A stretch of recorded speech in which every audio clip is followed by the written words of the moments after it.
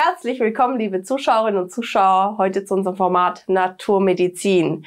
Immer wieder werden wir über die Medien darüber informiert, dass es zu ja, Stromausfällen kommen könnte oder Internetausfällen und wie wir dann dennoch an ja, gutes Wasser und auch Nahrung kommen können, ist natürlich die Frage. Vor allen Dingen möchten wir natürlich auch nicht den ganzen Keller voll haben mit ungesunden Lebensmitteln, die dann ablaufen und wieder entsorgt werden müssen und ein bisschen, ja, konzentrierte Nährstoffdichte wäre ja optimal und das noch mithilfe der Natur und noch eine Lebendigkeit reinzubekommen in die Notnahrung, die wir dann normalerweise nicht haben in verpackten Nahrungsmittel und Lebensmittel. Das erfahren wir heute mit unserem Experten Marco von Moos. Bleiben Sie dran.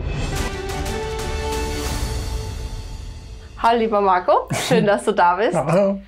Ja, Thema ähm, ja, Notsituationen, die dafür sorgen, dass wir vielleicht jetzt nicht mehr an den nächsten Supermarkt kommen können, wird ja immer wieder so ja, thematisiert in den Medien, oder? Kriegst du da auch so ähm, Anfragen, Rückfragen? Ist es bei dir auch präsent? Ich glaube, wir besuchen dieselben äh, Social-Media-Kanäle. ähm, ja, also es ist natürlich schwierig, sich als Schweizer das vorzustellen, wo seit, wie viele Jahre sind das? Also seit äh, fast mehr als 100 Jahren oder so gar keine Störungen eigentlich mehr hatten, auch äh, keine, äh, keine wirklichen Krisen mehr äh, zu, zu händigen hatten. Und ja, dann ist es natürlich schwierig, sich vorzustellen oder sich Notvorrat zum Beispiel anzueignen, wenn man gar nicht weiß, für was das man das eigentlich braucht. Aber ich bekomme diese Nachrichten auch, also mich erreichen die zum Beispiel auch von einem Stromausfall und was da passieren könnte. Und was für mich spannend war, das sind ja Experten, wo das für die Schweiz oder auch für Österreich oder ganz Europa durchspielen. Was würde da passieren, wenn? plötzlich der, kein Strom mehr da wäre. Und die sagen ganz klar, das ist möglich, also das wird kommen, irgendeinmal wird das kommen. Äh, die Frage ist nur wann. Mhm. Und spannend war äh, zu hören, also für die Schweiz, dass nach dem vierten Tag drei Millionen Schweizer sich nicht mehr selber ernähren können, weil sie nichts mehr zu essen zu Hause haben. Und das ist, denke ich, halt so in einer Gesellschaft, wo äh, just in time alles äh, verläuft, dann braucht man ja auch nicht äh, äh, solche großen Reserven, was, was ja in Friedenszeiten oder in Nicht-Krisenzeiten gar nicht nötig wäre. Also es macht ja auch Energie, energiemäßig Sinn, dass man da nicht, weiß ich was, äh, hm. hortet. Aber es könnte kommen und dann spielt es eine Rolle und also wenn man das dann weiterspielt, dann sagen die Experten, äh, wenn dann drei Millionen Leute nach dem vierten Tag keine Nahrung mehr haben, dann sind wir innerhalb einer Woche schon fast wieder beim im Mittelalter, weil alles drunter und drüber geht. Mhm. Also der Strom ist weg, man, da funktioniert keine Einkaufskasse mehr beim Coop. Da ist jede Kühltruhe wird aufgetaut, da ähm, läuft auch die Heizung nicht mehr. Also eine, eine Wärmepumpe liefert dann keine Energie mehr, auch keine Holzheizung, wo eine Pumpe brauchst für die, für die Speicher und so weiter. Also es ist kalt. Ein Szenario, wo sie dann spielen, ist, dass die ersten Leute dann Feuer machen in der Wohnung drin. Der Parkett fängt zum Beispiel äh, an zu brennen. Und dann ruft man auch nicht die, die Feuerwehr an, weil das Mobilfunktelefon dann auch äh, nicht mehr funktioniert und dann und die Leute noch Hunger haben, dann nehmen sie animalische Züge an und dann braucht es Lösungen. Und mhm. oft ist es besser, wenn man ein bisschen vorbereitet ist und das, das kann man ja gut machen. Und ich äh, sage mal, die Natur bietet ja uns da viele Möglichkeiten. Also sie hat für uns vorgesorgt und das macht sie am einfachsten in Form von äh, Samen, mhm. weil man die über Jahre aufbewahren kann. Ja, das finde ich ja auch das Interessante, gell? Die, die Samen sind ja im Grunde getrocknet und total klein und konzentriert. Weil wenn ich jetzt so ein kleines Samenpäckchen habe, das gibt mir ja im Grunde eine Nahrung für eine ganze Woche oder mehr sogar. Also ja, ja. es ist schon extrem ergiebig, gell? Also spannend ist, wenn man das Glas äh, Samen reinmacht in ein Glas und diese dann äh, mit Wasser in, äh, einweicht über Nacht, dann ist das Glas plötzlich voll. Mhm. Also es ist eine, ein Riesenfeuerwerk, wo die Natur da äh, ablässt, wenn man einen Samen, für das ist er gemacht, zum Keimen bringt. Äh, ein bisschen Wärme braucht es, ein bisschen äh, Wasser, etwas Liebe und dann äh, kann man sich da hochwertige Lebensmittel selber ziehen. Ich habe mir auch die Frage gestellt, was, wenn ich die Samen äh, ziehe, die Sprossen ziehe, dass ich dann ja auch immer wieder jeden Tag das Glas spüle. Mhm. Ja, du hast ja dann das Sieb da unten, dann, dass die immer wieder frisch sind. Wenn ich jetzt aber in einer Notsituation Wasser sparen möchte, mhm. Wie, hast du das mal ausprobiert? Was ist die wenigste wasserverschwendendste ja. Art? Es braucht relativ wenige Wasser und vor allem am Anfang, also das sind jetzt relativ große Samen, aber zum Beispiel äh, gibt es kleine Samen, da braucht es so viel Wasser. Ja. Und dann, äh, und dann explodiert das Glas innerhalb von fünf Tagen, hat man so eine Menge Sprossen gezogen. Aber lasse ich das dann in dem Wasser? Also ich rede jetzt nur von einer Notsituation. Ja. Ja, weil normal tue ich es ja jeden. Ja. Also erstmal lasse ich es ja im Wasser stehen. Genau, den Samen. Ein Tag, klar. Über Nacht zum Über Beispiel. Über Nacht. Und jetzt habe ich aber eine Notsituation und kann jetzt nicht jeden Tag das spülen. Ja. Viele Samen, ähm, also ich denke, in der Schweiz sind wir so gut gesegnet mit Wasser. Also mhm. Also wenn wir das Wasser aus dem Grund, Grundwasser hochpumpen müssen, das funktioniert natürlich nicht. Aber unsere ganzen Brunnen, Brunnen, die äh, bringen immer noch Wasser. Mhm. Also das ist rein nur mit der Schwerkraft. Und Wasser ist, ist essentiell. Also wir kommen irgendwo an Wasser äh, heran. Mhm. Also in der Schweiz sicher kein Thema. Wenn ich durch Deutschland fahre, dann komme ich sehr selten mal an einen wirklich wirklich äh, Brunnen, der richtig schön Wasser naja, hat. Naja, gehen wir mal vom Supergau aus, dass jeder in seinem Haus bleiben muss. Ja. Äh, dann habe ich entweder Wasser zu Hause ja. gelagert oder eben nicht. Genau die Experten, die äh, Not, äh, also die, die Notszenario-Experten, die sagen, sobald der äh, Blackout kommen würde, ist die Badewanne mit Wasser zu füllen. Mhm. Also dann kann man aus dem Wasser zum Beispiel die Sprossen machen oder man könnte auch eine eine Kloschüssel noch bedienen, dass das wenigstens funktioniert. Was ich auch ganz spannend fand, da kann ich mich noch dran erinnern, ähm, dass die Pflanzen in der Lage sind, aus dem Wasser nur das saubere Wasser rauszuziehen. Also selbst wenn das Wasser verschmutzt wäre, hat, ist quasi die Sprosse die eigene Osmose-Filteranlage. Ja. Stimmt das? Oder habe ich es richtig abgespeichert? Ähm, ich weiß einfach, bei den Salzen hat die Pflanze das zum Beispiel nicht die Möglichkeit. Also wenn wir Dünger ausbringen, dann wird die Pflanze immer wieder gezwungen, äh, diese, diese Salze reinzunehmen. Mhm. Aber Salze, ja, aber ja, wäre spannend. Aber wichtig ist, dass wir möglichst, äh, ja, dass wir zu unseren Böden und so weiter äh, Sorge tragen. Mhm. Also, dass wir nicht verschmutzte Böden haben. Aber es gibt da verschiedene Möglichkeiten mit dem Wasser und es braucht nicht viel Wasser, aber dass wir das äh, abschließen können. Also Wasser etwas zu lagern, Badewanne zu füllen, die Brunnen, die werden weiterhin äh, Wasser bringen und ähm, genau, dann ist es wichtiger. Also ich denke, der Knackpunkt ist dann wirklich, wie komme ich an die Energie ran? Mhm. Ich denke, in, in der Krisenzeit ist es dann nicht wichtig, ob ich dann noch ähm, Aminosäure habe mhm. und da irgendwie, also Aminosäure vielleicht schon, aber da noch äh, Antioxidantien und noch ein bisschen Ordnungskraft und Lebenskraft.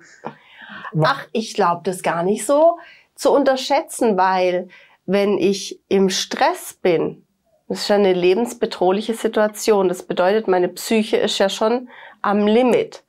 Ich könnte mir trotzdem vorstellen, dass es für die Resilienz, für die Angebundenheit, fürs Urvertrauen wichtig ist, ob ich mir jetzt ein Nutella-Glas reindonner oder ob ich was esse mit Ordnung, wo in irgendeiner Form mir auch. Da gebe ich dir recht. Gell? Ja. Könnte doch auch noch ja. eine Rolle spielen. Und äh, ich denke, das geht in dieselbe Richtung. Also wenn ich mir Lebensmittel zuführe, wo basischer wirken, mhm. und Stress macht ja, macht ja unseren Körper sauer, also dann hilft es auch, äh, Stress abzubauen oder Säure abzubauen. Und von daher äh, mhm. ja, unterstütze ich da deine Gedanken, dass ja. das nicht zu unterschätzen Jetzt haben wir ja noch den Luxus, dass wir drüber reden können, ja, genau. und uns vorbereiten können. Und das Interessante, was ich jetzt auch bei den Sprossen so finde, dass es halt keinen Platz wegnimmt. Genau. Und wie lange halten so Samen? Können die überhaupt kaputt gehen? Also Samen kann man sehr lange aufbewahren. Also die finden ja immer noch Samen, zum Beispiel in Pyramiden, wo seit 2000 Jahren oder wie lange äh, in den Pyramiden sind und immer noch keimfähig sind. Also sehr mhm. lange. Es gibt Samen wie Lauch, die kann man nicht über Jahre jetzt aufbewahren. Äh, aber die meisten Samen wie Linsen, Kichererbsen, die sind, die sind äh, gut über Jahre keimfähig. Und der Vorteil ist, die, wie du sagst, die sind platzsparend und ich habe die Möglichkeit, sie mir dann zu aktivieren, wenn ich sie wirklich brauche. Also es lohnt sich. Wir haben auch ein Notfall, äh, Notvorratpaket, wenn man sich vielleicht äh, immer eines über, überschüssig hat. Ach. Und dann kann man, kann man immer, äh, läuft das eigentlich immer weiter. Und was habt ihr in dem Notvorrat äh, drin? Auf was habt ihr da geachtet bei der ja. Zusammenstellung?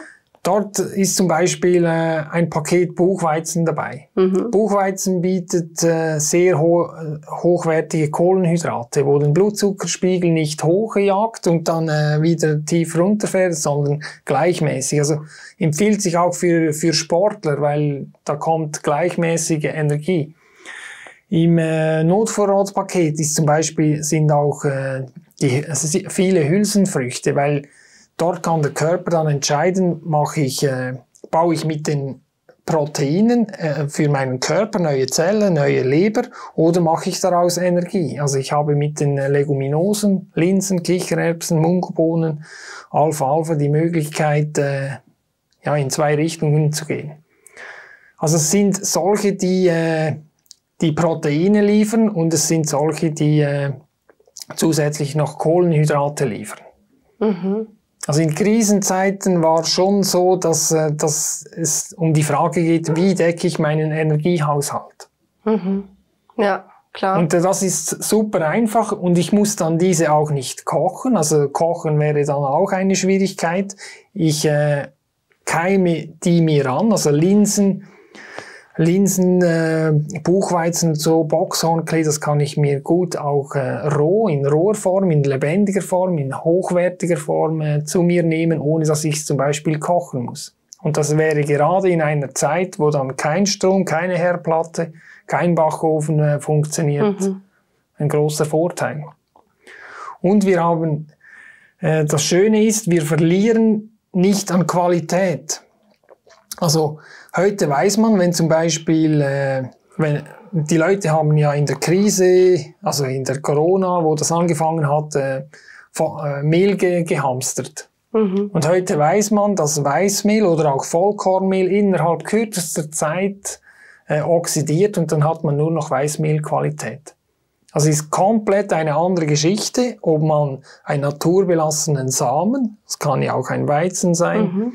ähm, so aufbewahrt und dann, wenn man ihn braucht, äh, weiter veredelt, ankeimt, als wenn man ist witzig. Ich hatte die ganze Zeit die Frage und dachte, ah, eigentlich passt jetzt thematisch nicht rein, aber es interessiert mich doch.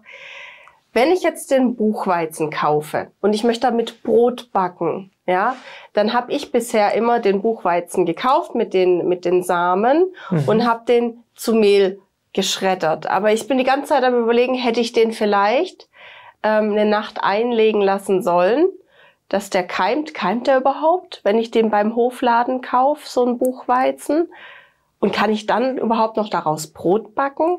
Also wenn es wenn, wenn der Bauer oder äh, die Firma Wert darauf legt, dass, das, äh, dass der Buchweizen zum Beispiel noch keimfähig ist, dass er nicht beim Schälprozess Prozess, äh, ver, verletzt wurde, dann sollte der eigentlich keimen. Aber es muss explizit draufstehen. Ist es so was Besonderes?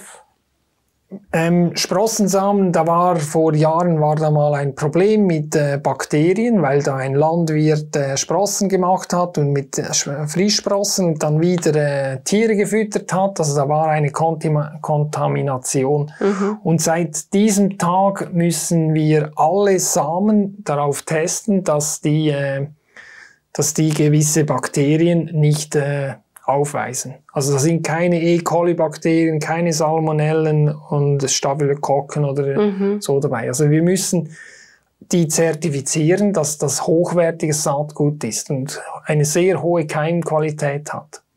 Wo man zum Beispiel in einem Hofladen oder in einem Biomarkt äh, nicht so hat, diese Garantie. Dann müsste ich das Experiment machen, dass ich einen Teil davon in eine Schale lege, ob es keimt. Genau oder in die Erde, dann ist es sicher. Ähm, zurück zu, zu deiner Frage wegen dem Brot. Es ist natürlich besser, wenn du jetzt zum Beispiel den Buchweizen ankeimst und diesen nachher in einem Brot äh, weiterverarbeitest. Mhm. Also einknetest. Wie machst du? Machst du überhaupt Brot? Isst du Brot? Ich mache zum Teil äh, Cracker für mich, also mit Leinsamen und äh, Buchweizen und auch äh, Boxhornklee und äh, was gehört da noch? Ein bisschen Salz dazu und, und dann äh, mache ich das mir so in, in einem Dörrofen. Mhm. Ja, genau. Okay. Ähm, aber diese funktioniert natürlich dann auch nicht, wenn. Äh, ja, das ist schon klar. ja, deswegen war es jetzt so ein kleiner Schwenker, aber es hat mich jetzt auch interessiert mit dem Brotbacken, ja. ja. Ob man das gibt's da wahrscheinlich Rezepte, ja. oder? Der Vorteil ist und für das ist der Samen gemacht.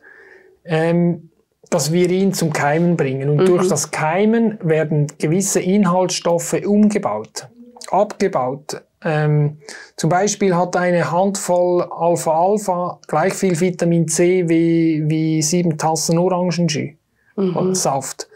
Oder äh, so ein Glas hat 25 Prozent ähm, ähm, Protein in Form von Aminosäuren. Also es ist eine Veredelung, wenn wir den Samen zum Keimen bringen. Und wir verschenken ein Riesenpotenzial, wenn wir einen Samen nicht keimen, sondern nur, nur zum Beispiel vermahlen. Mhm. Und das ist äh, das Hochwertige, wenn du jetzt zum Beispiel deinen Buchweizen ankeimst und dann in den Teig integrierst. Aber ein wunderbares Brotrezept zum Beispiel auf der Webseite. Ja, zum ja, genau. Buchweizen? Ja, genau, hat okay. das auch drin. Und äh, Hülsenfrüchte sind da noch drin und Ah, dann probiere ich das mal aus. Ja, gern. Okay. Und du nimmst dann auch die vier, fünf Tage gekeimten Sprossen dafür? Ja. ja, genau. Mhm. Super. Also jetzt sind wir nochmal bei der Notnahrung. Ähm, Thematik. Was gibt's noch zu beachten haben wir in der, in der Notebox alles durchgesprochen, was wir drin hatten. Und da ist auch noch Weizen. Also den, den Weizen, da kann man dann immer noch ein Mehl machen oder man könnte den Weizen auch ankeimen mhm. und, dann, und dann ein Müsli machen. Kann man in, in, in der Not auch mit Wasser anreichen. Und dann merkt man plötzlich, wenn man ein Korn ankeimt, dass die Stärke umgewandelt wird in äh, Einfachzucker und dann schmeckt plötzlich äh, so ein Weizenkorn super süß.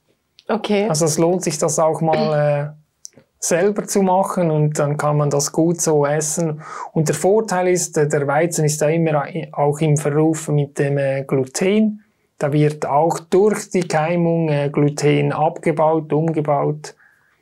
Also viele Vorteile, wenn wir Samen zum Keimen bringen. Und ich empfehle Ihnen auch, auch Nüsse, Mandeln, Haselnüsse, Baumnüsse, das sind alles Samen. Weichen Sie die über Nacht ein im Wasser und am Morgen kommen die zum Beispiel in einen Müsli rein oder, oder kann man auch so essen. Die sind super knackig. Also die werden nicht irgendwie weich, sondern so wie sie sein müssen. Einfach aktivieren, dann, äh, damit die Stoffe um- und aufgebaut werden. Muss ich es zwingend in Wasser einweichen oder reicht es, wenn ich die Walnüsse ähm, in den Joghurt über Nacht ein oder in, in ja. Mandelmilch oder? Ja.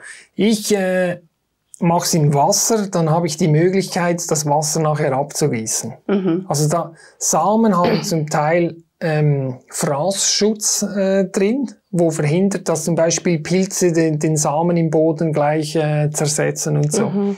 Also die Keimung, die macht Sinn, dass die Stoffe, die Fraßstoffe umgebaut werden, damit das äh, nachher nicht in unserer Ernährung ist. Also die können ein bisschen unseren Darm stören, aber das haben wir natürlich, wenn wir äh, Vollkorngetreide und so weiter haben. Also ist es viel eleganter, wenn ihr die ankeimt und ins Leben aktiviert. Und dann mhm. habt ihr noch Enzyme dabei und sekundäre Pflanzenstoffe, ein x-faches an Proteinen in Form von Aminosäuren. Genau. Und die Enzyme, die helfen uns auch äh, für die ganzen Stoffwechselvorgänge.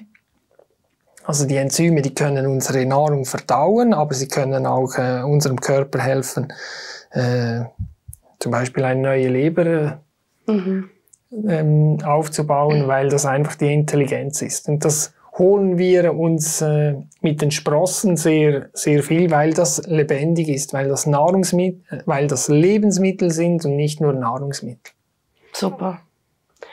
Ja, das war wieder extrem spannend. Vielen, vielen Dank. Wenn man jetzt doch nochmal sich wirklich einzeln mit den ganzen äh, Sprossen auseinandersetzen möchte, auch mit der Wirkungsweise oder Rezepte oder so, wo gibt's die denn? Ihr findet alles auf sprossensamen.ch. Da sind, ist jede Pflanze einzeln beschrieben. Und äh, da bekommt ihr auch die, diese Gläser. Wir haben zwei Größen und es lohnt sich, wenn die Sprossen Platz haben, weil wir brauchen für die, ja, auch in Friedenszeiten und äh, in unseren Zeiten braucht es eine schöne Menge Sprosse, weil dann kommt auch etwas im äh, Körper an. Mhm. Ich mache für mich gerade in dieser Jahreszeit reine Sprossensalate mit hochwertigem Olivenöl und dann macht man sich viel Gutes. Super. Vielen, vielen Dank, lieber Marco, dass du heute da warst und ja, wieder die Menschen und mich motiviert hast, auf die Sprossen wieder mehr zu achten. Danke. Danke dir. Ja. Liebe Zuschauerinnen und Zuschauer, ja, ich hoffe, Sie konnten auch einiges mitnehmen, auch wenn man mal für den Notfall ähm, ja was einlagern möchte und dabei noch gesund bleiben möchte. Da bieten sich natürlich die Sprossen an. Ich wünsche Ihnen eine gute Zeit. Bis bald. Tschüss.